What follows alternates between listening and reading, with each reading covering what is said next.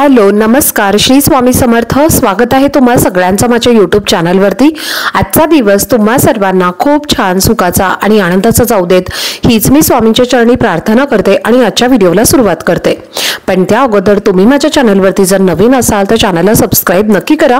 त्याचबरोबर कमेंटमध्ये श्री स्वामी समर्थ लिहायला अजिबात विसरू नका. आज तेरा फेब्रुवारी वार आहे मंगळवार आणि आज आहे श्री गणेश जयंती. तर श्री गणेश जयंतीच्या तुम्हा सर्वांना खूप खूप मनापासून हार्दिक शुभेच्छा. तर गणपती बाप्पांना समर्पित असणारी ही गणेश जयंती या दिवशी गणपती बाप्पांचा जन्म झाला होता. म्हणून ही तिथी साजरी आपण करत असतो. तर गणेश जयंतीला विनायक चतुर्थी असं सुद्धा म्हटलं जातं. त्याचबरोबर तिलकुंद चतुर्थी या सुद्धा नावाने ही गणेश चतुर्थी ओळखली जाते. तर या दिवशी आपण गणपती बाप्पांची पूजा केली आणि त्यांना प्रिय असणाऱ्या वस्तू जर आपण त्यांना अर्पण केल्या तर गणपती बाप्पा हे आपल्यावरती प्रसन्न होतात आणि आपल्या सगळ्या इच्छा पूर्ण करत असतात. त्याचबरोबर त्या व्यक्तीच्या जीवनामध्ये सुख शांती समृद्धी ऐश्वर हे सुद्धा टिकून राहतं. तर ही गणेश जयंतीचं जर आपण व्रत केलं तर वर्षभरातील येणाऱ्या सर्व सर्व चतुर्थींचं फळ हे आपल्याला प्राप्त होत असतं. म्हणून शक्य झालं तर तुम्हाला आवर्जून आज व्रत करायचं आहे आणि बाप्पांची विधिवत पूजा सुद्धा करायची आहे. त्यांना प्रिय असणाऱ्या वस्तू आपल्याला अर्पण करायच्या आहेत आणि तुम्हाला एकवीस किंवा अकरा दुर्वा ज्या आहेत तर त्या सुद्धा अर्पण करायच्या आहेत. अर्पण करत असताना या दुर्वा तुम्हाला हळदीमध्ये आणि तुपामध्ये बुडवून बाप्पांना अर्पण करायचे आहेत. त्याचबरोबर जास्वंदाचं फूल किंवा लाल रंगाचं फूल हे तुम्हाला बाप्पांना अर्पण करायचं आहे. आणि मोदक त्याचबरोबर तिळाचे लाडू किंवा गोड खोबरं याचा नैवेद्य सुद्धा तुम्हाला अर्पण करायचं आहे. तर आजच्या व्हिडिओमध्ये तुमच्यासोबत मी दोन अतिशय प्रभावी असे उपाय शेअर करणार आहे.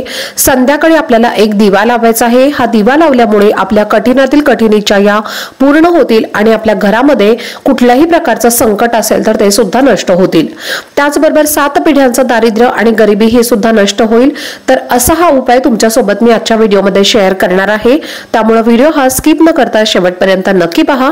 जेणेकरून तुमच्यापर्यंत योग्य ती माहिती पोहोचेल. आणि तुम्ही जर चॅनलवरती नवीन असाल आणि असेच जर तुम्हाला माहितीपूर्ण व्हिडिओ बघायला आवडत असतील तर चॅनलला पण नक्की सबस्क्राईब करा. तर बघा या दिवशी आपण जे काही उपाय करत असतो तर त्या सर्व उपायांचं आपल्याला निश्चितच फळ हे प्राप्त होत असतं. गणपती बाप्पा हे विद्येचे देवता संकटांचा नाश करणारे विघ्नहर्ता देवता आहेत आणि त्यामुळे आपल्याला हे उपाय करायचे आहेत.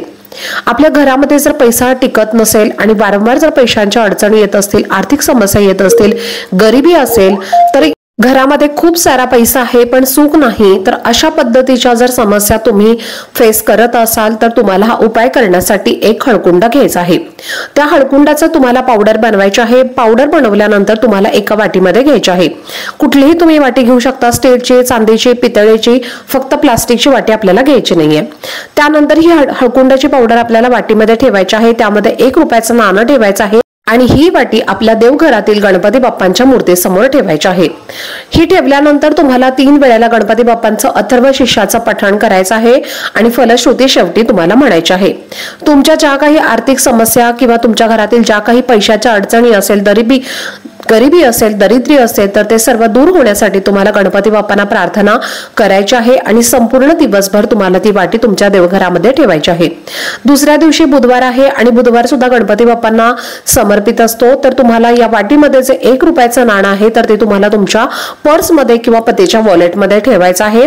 आणि जे हळकुंडाची पावडर आहे तर ती तुम्हाला तुमच्या पैशाच्या तिजोरीमध्ये ठेवायची आहे. एक रुपयाचं नाणं आपल्याला खर्च करायचं नाहीये. आपल्याकडे माता लक्ष्मी ही आकर्षित होते. पैसा आपल्या घरामध्ये टिकून राहतो. आर्थिक अडचणी आपल्याला येत नाहीत आणि त्यामुळे गरिबी सुद्धा येत नाही. त्यामुळे तुम्हाला अशा पद्धतीने हा उपाय करायचा आहे. हळद जी आहे तर ती तुम्ही पूजेसाठी परत वापरू शकता. आणि तुमच्या कपाळावरती याचा एक टिळा सुद्धा तुम्ही लावू शकता. तर अशा पद्धतीने तुम्हाला हा उपाय करायचा आहे. दुसरा उपाय तुमच्यासोबत मी शेअर करणार आहे. हा उपाय तुम्हाला आज संध्याकाळी करायचा आहे. आज संध्याकाळी तुम्ही सहा नंतर हा उपाय करायचा आहे. आणि जो पहिला उपाय तुम्हाला मी सांगितलेला आहे तर तो उपाय तुम्ही आज दिवसभरामध्ये केव्हाही करू शकता.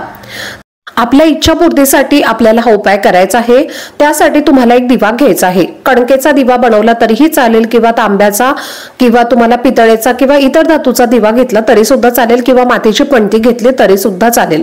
तर अशा पद्धतीने तुम्हाला हा दिवा घ्यायचा आहे. एक प्लेट घ्यायची आहे आणि त्या प्लेटमध्ये आपल्याला तांदूळ टाकायचा आहे. थोडेसा हळदी कुंकू या तांदळावरती आपल्याला टाकायचा आहे आणि हा दिवा या तांदळावरती ठेवायचा आहे.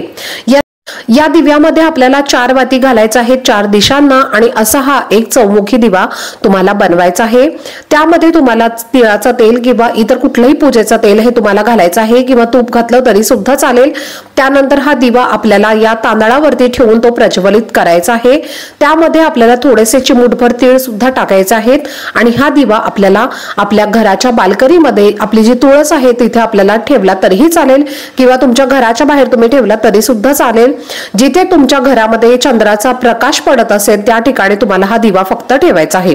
असा हा दिवा लावल्यामुळे आपल्या घरावरती विघ्न येत नाहीत कुटुंबाची नेहमी प्रगती होत असते घराची प्रगती होते आणि घरातल्या प्रत्येक व्यक्तीची प्रगती होते आणि त्या व्यक्तीच्या आयुष्यातल्या सर्व अडचणी संकट ही सुद्धा दूर होत असतात.